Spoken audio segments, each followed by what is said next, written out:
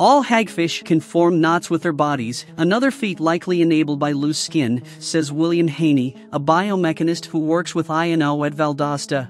The knots make up for the lack of traditional jaws, he explains. By twisting into a knot, the hagfish can tear the flesh of dead and rotting carcasses.